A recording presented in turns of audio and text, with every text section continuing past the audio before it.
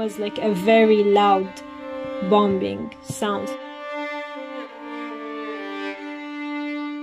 There were a lot of people helping out and I was I was really surprised.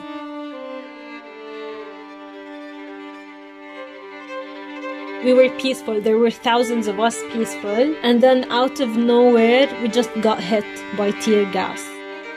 Loads of tear gas.